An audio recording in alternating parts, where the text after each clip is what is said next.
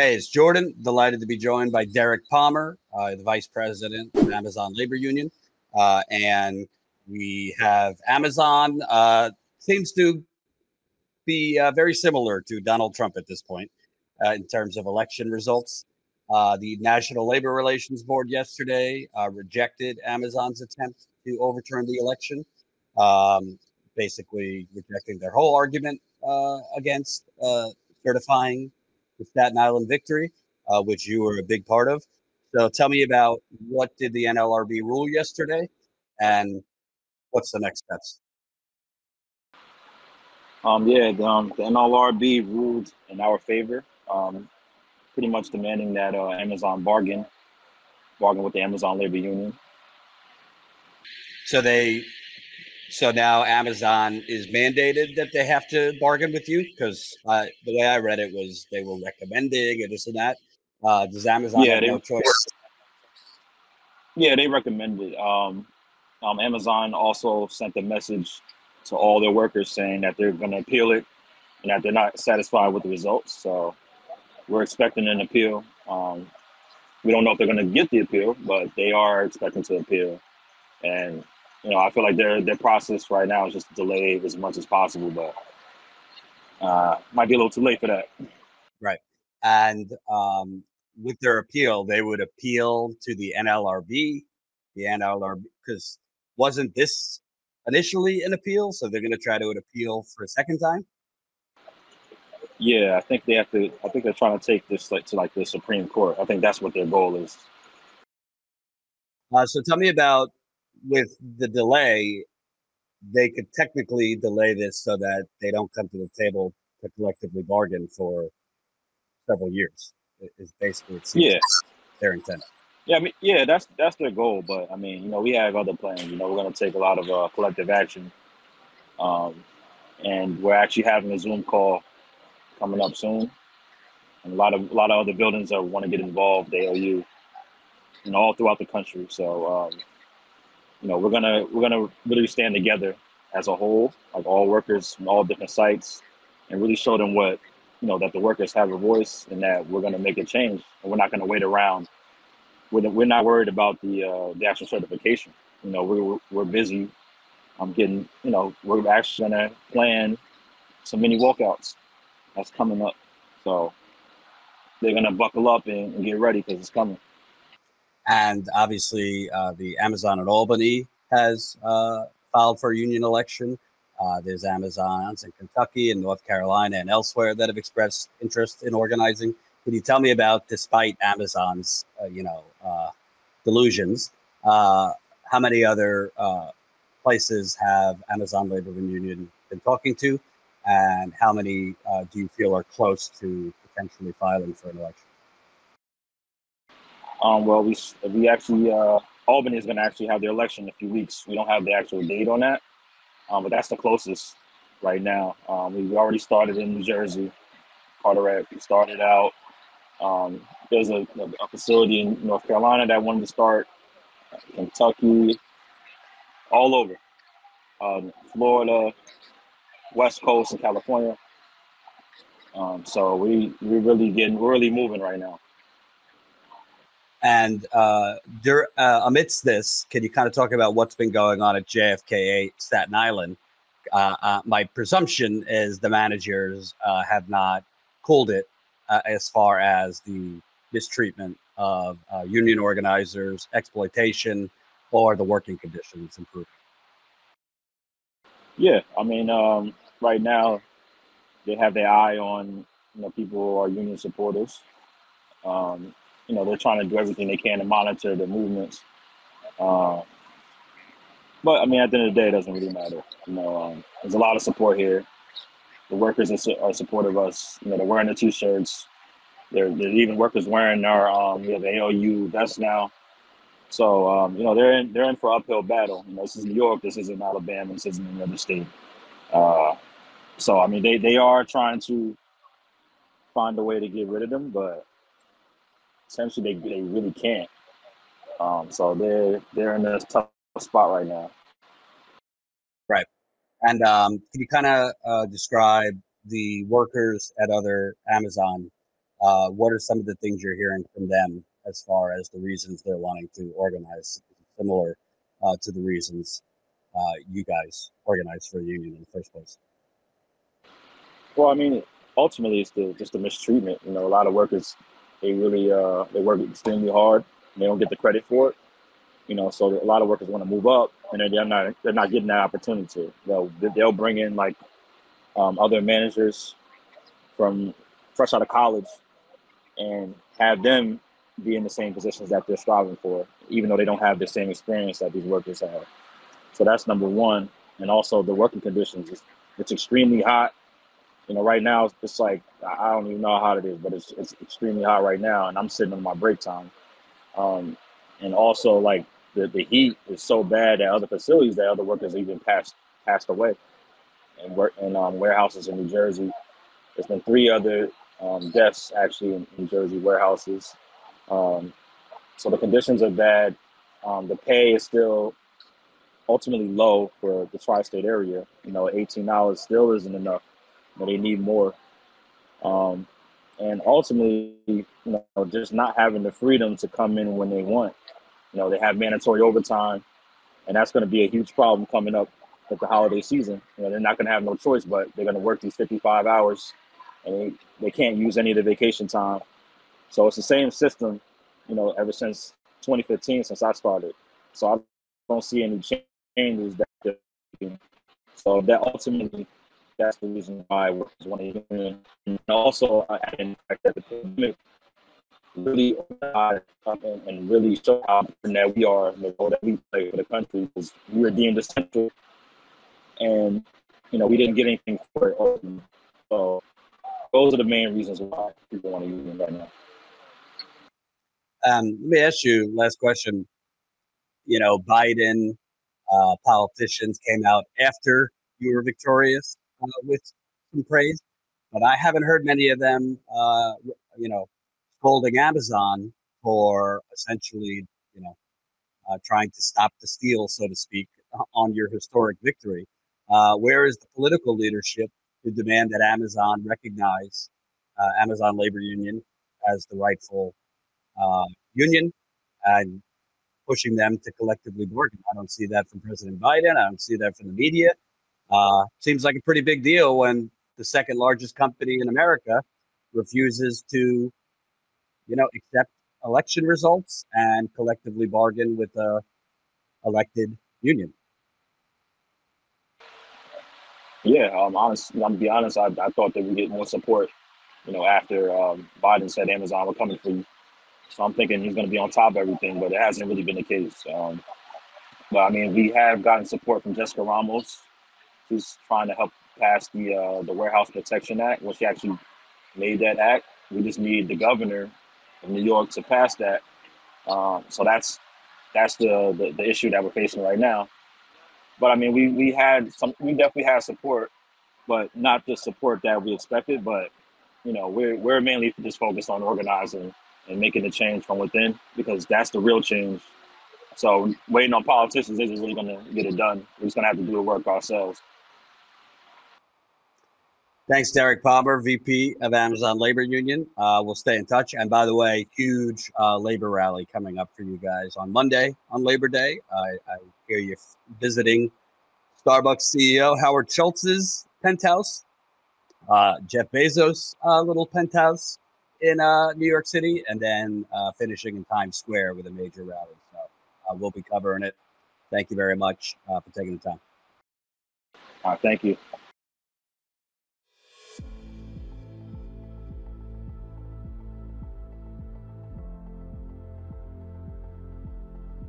My grandmother worked at a bakery in Ottumwa back in the day. Her, she was a widow raising two kids. It was a unionized bakery. She couldn't afford the union dues. So the union let her take notes during their meeting and made her her secretary so she could be in the union. So she was working. The union looked out for her there was a new um, procedure for wrapping bread that the bakery was making, so they made sure she got that job. It paid a little more. She was a widow raising two kids. So when men came back from the war, they were saying the women in the workforce were taking the men's jobs. And so the union said, no, this was a new job, came up during the war. She's not taking a job from anybody. It's her job as long as she can do it. Well, then she had a hysterectomy. And she went back to work.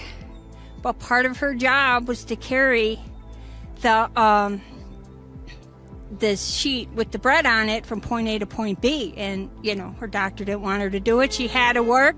I mean, this is a woman who, when the Ottumwa had their flood, walked across a flooded bridge to get home to her kids. So the union helped her keep her job. Some union guy took that bread for her until she could carry it herself. This is generational. Unions are important. And Waterloo supports the union. First and foremost, like throughout the pandemic, especially, we've been called essential workers. And just having lived through the pandemic and being called that and understanding that the conditions and the living standards that we have, it's just simply unacceptable. And I think we're trying to change the working conditions not only for Starbucks workers, but, you know, hopefully this leads to, to more people being able to say, you know, enough is enough. I also want a better working environment and an actual say in my workplace. They gave us completely against our wishes two additional support managers. What they're supporting other than the anti-union campaign remains to be seen. There's as many people they brought in here, almost as many, I believe, as people voting in the union election. That's not, that's a type of disruption you're not supposed to do. Um, I'm a regular at a couple of the stores here. Um, they've taken the stores that I know people at and they disrupted them by doubling the size of the people at times. That's dangerous. Two of our committee just got COVID. They were part of a, they were put into a work situation um, purely as a way to disrupt about the union. The timeline, you know, lines up that within those 12 days from like October 1st to the 12th is is probably when we would have gotten COVID right before we went out um, on hmm. isolation. And the only thing that's really been different in my life is that I've been working with upwards of 10 to 15 or 10, like 10 extra people, 12, 13 extra people. And that's just people on the floor. Like if we have 16 partners that are working on the floor, we also have like four to five managers that are hovering around in the lobby, in the back of house, talking to each other. The amount of people packed into that building tripled in that week. You know, it, it's like it, it would be hard to kind of attribute this to anything else solely because that change was so drastic. And not even to mention the people who are coming in are coming in from all over the country. This is not like local or anything. Like if there's outbreak from travel or anything like that, like any any anything could be possible. And uh, you know we can only see it as both a tactic to disrupt a very strong pro-union store, to you know scare workers, to intimidate them, and to basically break their solidarity. And we had to sit through three days of them basically telling us that not only are we essential, essentially coffee robots that can just be put anywhere and assigned a position and we don't have to have any say in it, but that our managers who've worked very, very hard to take care of these stores and take care of us under these awful conditions don't actually have any say in what goes on. We are worth living wages and we are worth like having safe working conditions. But without baristas, there would be no Starbucks. Without people like us on the ground, we are what makes Starbucks what it is. And, you know, Kevin Johnson just got a $20 million bonus over the pandemic. Well, you know, we were the ones in the stores. Most of my coworkers got sick with COVID, if not all of them. So, you know, just wanted to say too that Starbucks has the ability to raise living standards and they've chosen not to. It's usually the first 25, 30 minutes is them talking at us. And generally, at this point, it's all anti union. It started off the first two meetings were kind of, um, we're here to help you, you raised your hand, we're so excited to be here and fix things. And then they've gotten progressively, they've broken us into smaller groups. Um, they've scheduled these so that the most vocal of us are in one group and the quieter people are in other groups. So, I mean, it's it's blatantly obvious to us, and I'm, I'm, sure that they know that. I'm just not so sure that they care. Unions come out of you know struggles of working class people from you know the 1800s and before. Um, you know, and we know what a union is. We know what the values of a union are. It's to support working class people, Um, you know, so Starbucks was piecing together every um, you know piece, bad piece of information they could find on unions to create this kind of uh, like a collage of anti-union messages. Um, they were pulling um, you know practices from the trade unions, from different unions from different sectors. You know, uh, to try to, to, intimidate workers. You know, they'll do anything but actually talk about, you know, what unions actually do. They also put up the financials of the union to try to explain that, you know, the the higher echelon of the union, as you will, are making lots of money, and that's my dues paying paying into their salary. So I asked them if I could see Starbucks financials, and they said, well, that's public information. And I said, well, this is all public information as well, but you spent time to make a 25 minute PowerPoint about it. I said, Can you explain to me why I shouldn't be concerned that our CEO got a $20 million bonus in the middle of a pandemic and I have partners who can't afford to pay their rent and put groceries in their fridge on the same week? They kept saying, Well, the union is a business. And I said, As opposed to Starbucks non for profit? I mean, like, who are we trying to fool here? You know, you guys say you're anti, you're not anti-union yet. This is the most anti-union thing I've ever seen in my life. Like, how can you say that? And they were like, well, we're just giving you the facts.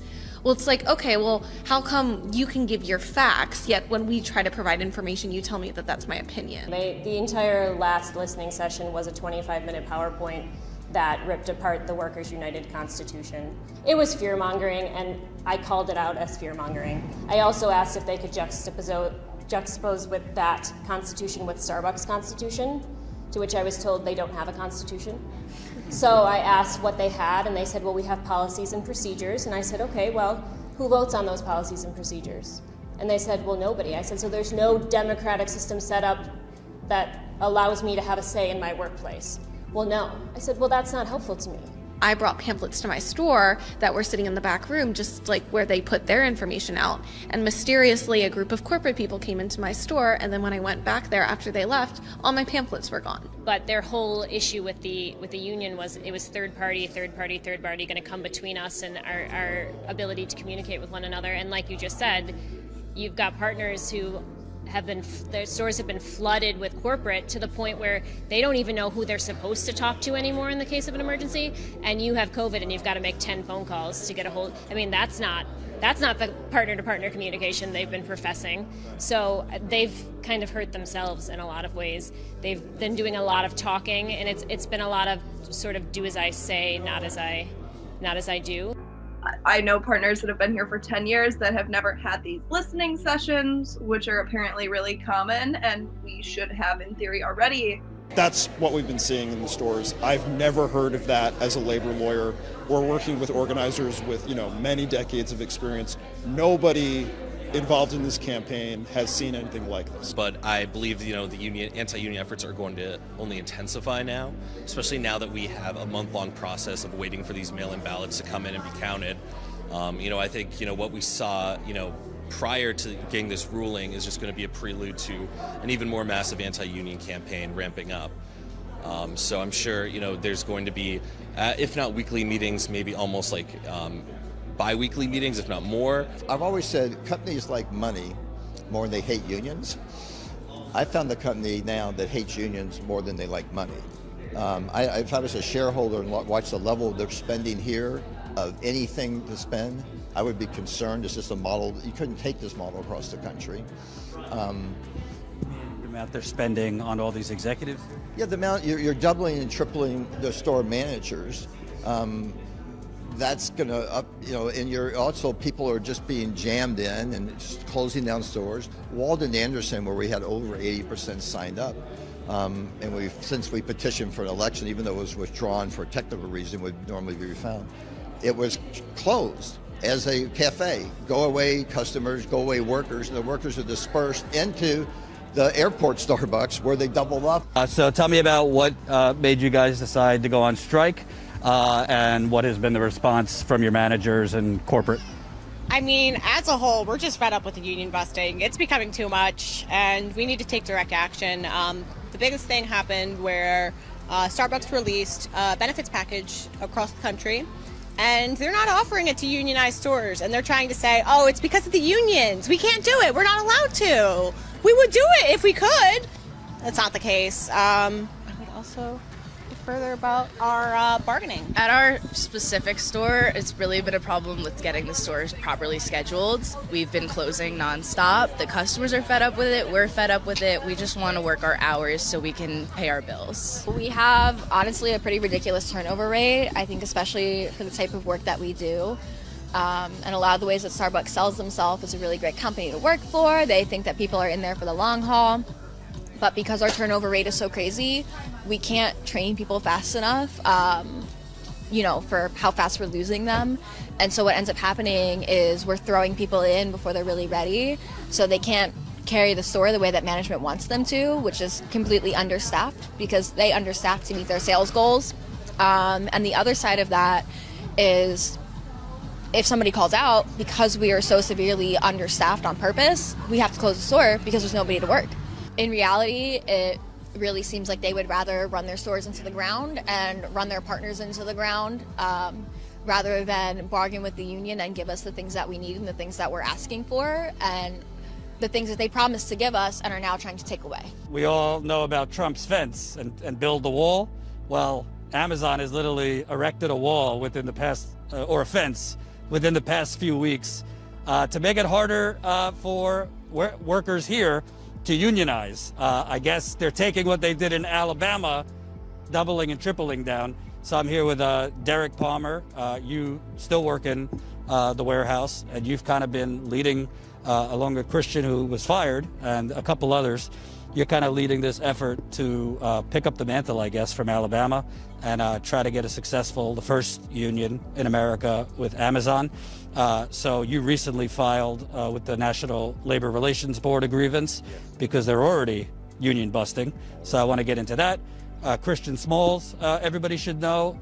Um, well, they put it up after our, one of our barbecues. We held a barbecue for all associates, you know, to come and get get some real food, you know, versus the food inside of Amazon, and also to sign union cards and also get information about union cards as well. And um, right after the day after that barbecue, you know, they I guess they saw that it was a huge success. You know, a lot of people were signing up, and then we came back. Um, I believe the next day we, you know, we weren't here, but the day after that we came back and the fence was here. And uh, I don't know if you could see, show them, John, but it's literally private property all over the fence. Uh, even though I believe we're on a public sidewalk, yeah. do, do you feel like uh, the progressive politicians, particularly AOC, Bernie, kind of uh, abandoned you while, while supporting other workers? No, I mean I think they're too busy getting coffee at Starbucks. you know, I don't know. I mean, I, I can't really call it. I, I, don't. I can't explain it either. You know, this is this once again uh, questions that you have to ask them. You know, why they haven't supported their own constituents. You know, I have people that's organizers that come from their district that was looking forward to seeing them come out here it's, it's sad and unfortunate. And once again, you know, these are y'all elected officials. You know, I'm from New Jersey, but you know, the workers that I'm organizing with and the workers that I'm fighting for are from New York, and they're from Jackson Heights. They're from the Bronx. They're from Harlem. They're from Brooklyn. They're from all these different districts and counties and boroughs in New York. So any progressive politician could have showed up in the last 11 months. You know, and that's all I have to say about that. You know, we don't, you know, I know that my team and the way we organize, we don't care about the outside noise and, you know, who's supporting, who's not. We just do what we do.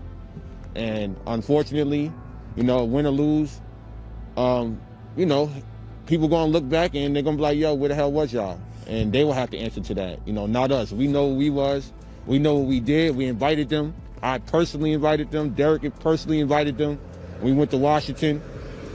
Um, they have my information. They have my direct contact. I'm very accessible. I'm busy, but you know, I, I try to make time for everybody, and uh, they know that. Tick tock, the the clock is ticking. We're we're calling you out on your bullshit, politicians.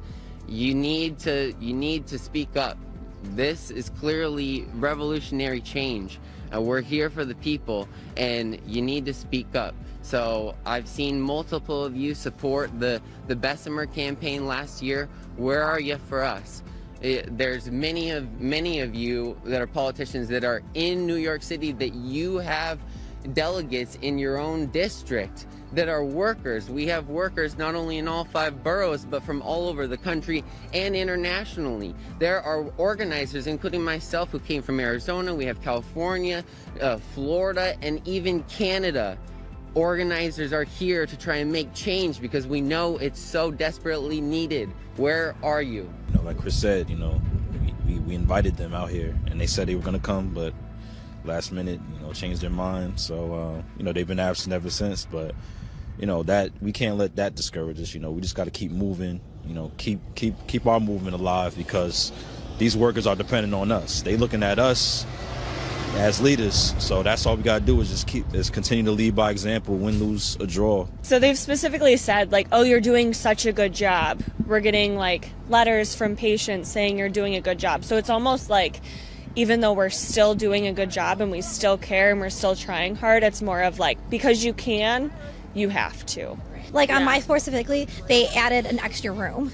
So what it used to be a room for like to do echoes, like and like heart, whatever ultrasounds, and somehow the next day I came back and they switched it to a patient's room, so they can add more patients. So we're originally like a 48 bed unit, and then they added the 40 the extra room, and I ask people, I'm like, how is this possible when we don't even have the staff to take care of the 48 patients we have now? The, COVID patients are horrified. They're, they're so scared because like they're stuck in isolation. Their family members can't visit them. Like I can't imagine like this is the face that they see, and it's not even like my face. It's like a mask and like a full gown PPE screaming to them because they can't hear me because whether they have a high flow mask, like it's like this hot air blowing up your nose, like at like 100% oxygen. Like it's painful, it's super loud, it can get sweaty for them. Like they're uncomfortable, they're crying, they miss their family, they just want to get better. It's sad. It's a sad sight. And normally, like, we could have the honor of being one of those visitors and people to take care of those patients, considering they can't have family, they can't have visitors. Some of them don't even have smartphones to, like, FaceTime family. My grandfather was actually recently here on a COVID unit, and um, the fact that he didn't have visitors for nearly two weeks, um, and the staff taking care of him was the only people that he saw for that amount of time. Um, that is just very unfortunate that we don't even have the time to see. It doesn't sound like the staff could adequately care. Right. It's basically like factory line working, going through a patient at giving them their meds, giving their assessment. I can't even like have a full blown conversation. I'm like, oh, are you in pain? How are you feeling? Like, I'll ask my orientation questions, and that's like basically the conversation. You guys are going on 30 days. It's not easy to go on strike. Uh, obviously, uh, it seems like they're threatening your benefits now, your health care, uh, important for healthcare workers. Um, what has been their response? Do you think they're operating in good faith? Is, are they negotiating in good faith? Have they basically told you to take a hike? Well, what has been the response? Personally, I don't think they're bargaining in good faith. They're like from the union and like the bargaining team. I don't really can like speak for them, but like I know like they'll post like, oh, we we're still waiting for Catholic Health to come up. Like they're do no call no shows. Like they the bargaining team is waiting hours on hours for whoever the bargaining team for Catholic Health is to come and talk to them. And it's Not showing up, you yeah, yeah, they don't show up, or they show up at like two o'clock in the morning. Like here you go. Like you can't expect someone to like read this whole paperwork and say, yeah, this is okay at two o'clock in the morning. Like you need to be sleeping, you know. And then like our environmental staff, the people who are like cleaning the COVID rooms, cleaning everybody's rooms, cleaning like the blood and guts off operating tables, like they're paid like thirteen dollars an hour. That's not even minimum wage. They can go to Tim Hortons and make twenty dollars an hour and not have to deal with the risks that they're doing here, you know. So, talk to the audience. Uh, obviously, understaffing. What are some of the other demands you guys have been making? Um, in the beginning, they proposed to take away like our health insurance. They wanted to give us a high deductible health insurance. They wanted to do that. They didn't want to give us like a huge wage increase. Oh, and they wanted to get rid of our pension. So like yeah yeah yeah so like all the senior nurses not only are they they're not getting the wage their pension is being frozen and like what Pashan was 38, and uh, in January, uh, suddenly came home, uh, told her sister her, her head hurt, and then the next day she passed away in her sleep. Uh, no major health problems. But the only thing we do know is that uh, for months she was actually at Amazon in Virginia administering COVID tests, the nasal swabs, up her coworkers' noses. Uh, something that she had spoken with you about, other workers, said that they saw her doing the testing. Uh, Amazon would not speak with me on the record. They would not, they tried to sweep this under the rug. They actually, from what I know, intimidated workers there in that warehouse from even talking about your sister's death. So I want to start with you know your sister was doing this testing, and you and her, because you had worked at Amazon with her, you and her had, had rarely fought, but you had kind of gotten into it because you were worried about her bringing something home to your mother during COVID. Yes, we got into it about two times about it. And the last time we got into it was December. And um, I told her when when we first when I first brought it up to her and told her um, is when she did the anonymous emails and then um, she did the text message and then uh, then she did the emails under her information. Um, Just so you guys know, she emailed her supervisors once as herself, identifying herself, asking, Are you going to close the warehouse? This was at the beginning of the pandemic about a year ago. Uh, they were not cleaning properly in this Virginia warehouse, just like they weren't cleaning properly here. Uh, they weren't even cleaning the trays that you work on, uh, that you move products. And then she emailed anonymously, uh, even to the even to the corporate headquarters in Seattle, basically saying that uh, they're just totally dis- disregarding us and our lives during this pandemic. So yeah, the first uh, was like May was when she had when she uh, May was when she started sending the emails, and she sent them from May up until I believe October, November. Um, and the last time we we got into it, uh, we got in an argument about it was December, after Christmas, and then my sister passed in January.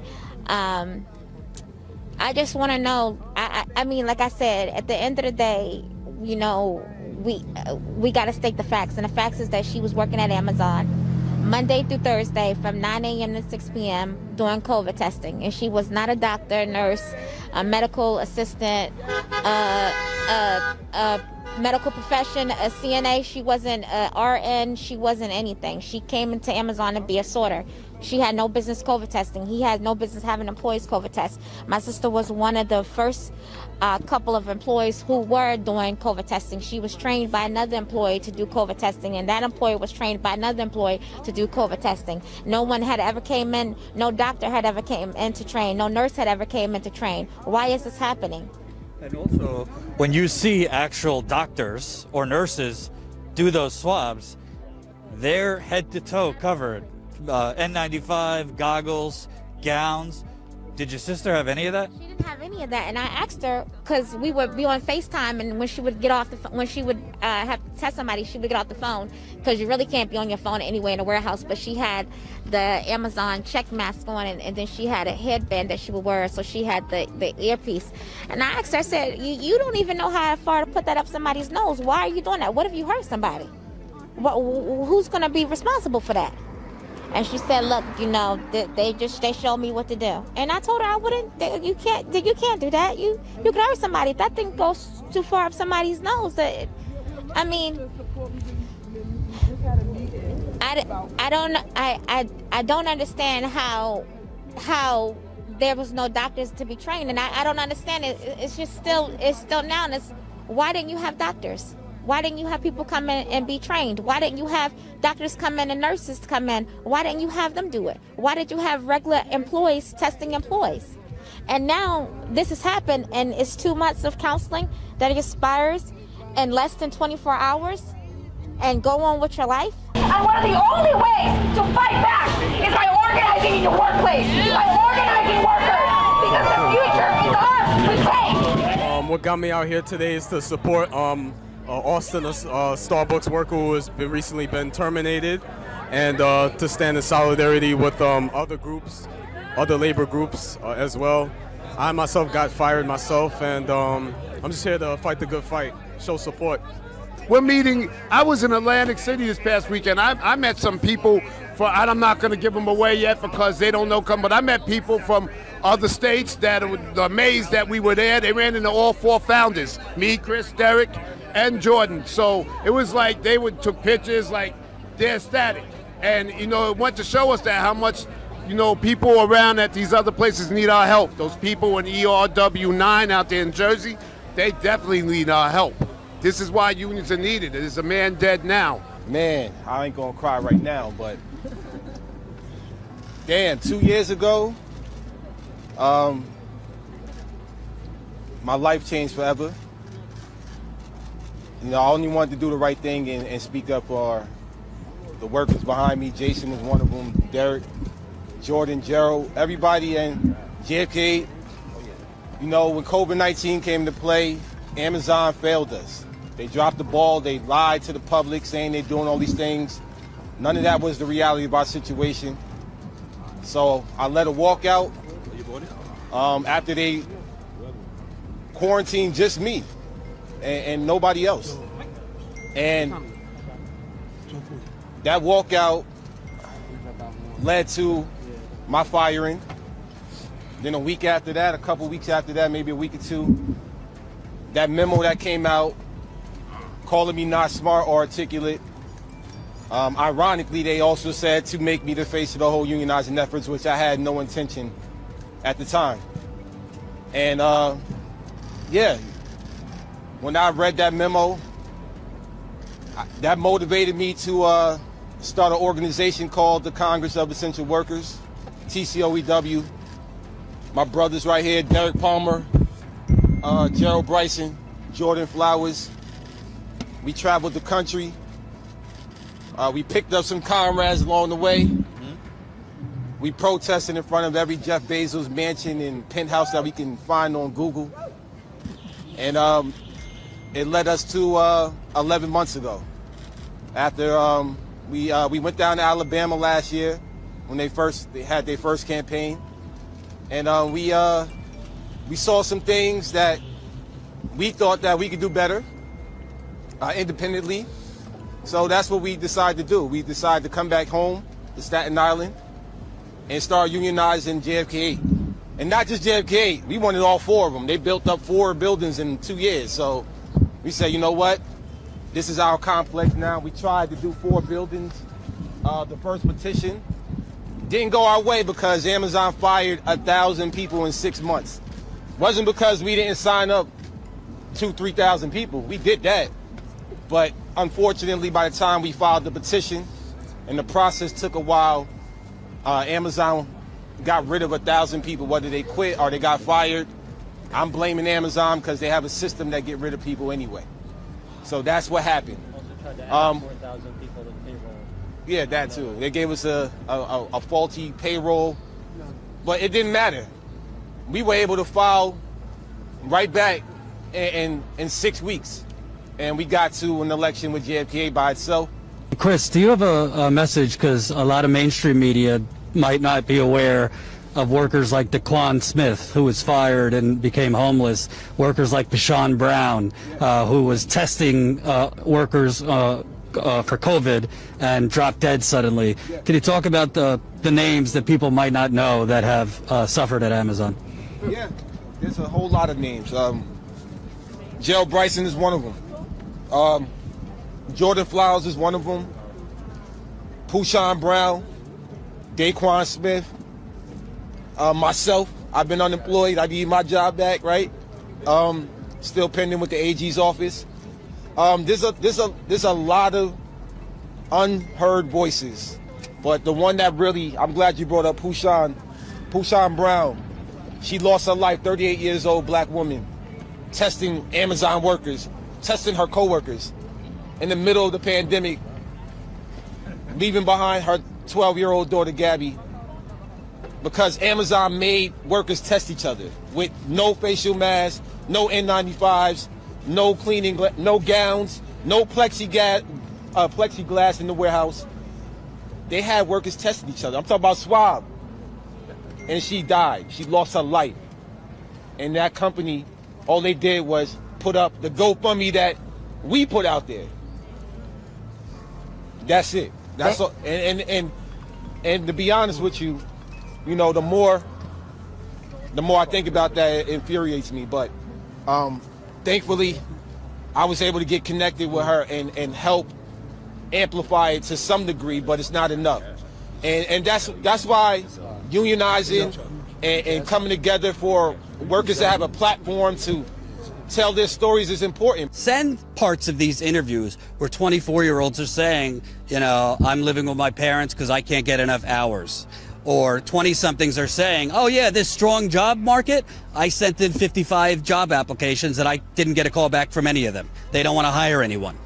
Send. Uh, send the parts of these interviews where 20 somethings, which are their kids' age or their grandkids' age. I'm talking about the voters that keep voting for the Bidens and the Clintons and the Obamas and the Cory Bookers and these establishment Democrats. Send it to them and make sure they're seeing that, yeah, the people you're voting for are basically stealing a whole generation's future because they're screwing them and they're letting these corporations run roughshod over people. And because they take money, Starbucks donates, Amazon donates, make sure it's not just your Republican uncle who needs to see it. It's your neoliberal auntie, okay? It's your academic in your family that keeps voting for these status quo Democrats. Because frankly, not not to my audience, the baby boomer generation is who keeps voting. They are the most reliable voters. They are the strongest voters. They vote the most, and they vote in general. And this goes across it's not just old white people, older black voters too. They vote for the Nancy Pelosi's, the Jim, the James Clyburns, the Cory Bookers, the Bidens, uh, the Pete Buttigieg's. They need to see, oh no, it's not just laziness. There are no good jobs, and this is a capitalist hellscape we're living in. And if you then hear from them, well, in my day, oh yeah, well, in your day, college wasn't sixty thousand dollars a year. You could go to you can go, go to uh, college I think Elizabeth Warren said her tuition was like 500 bucks a semester. Okay, in your day, uh, you actually uh, did not. You actually had unions or stronger unions. In your day, uh, rent wasn't five thousand dollars in a major American city. So I don't want to hear any more about your fucking day.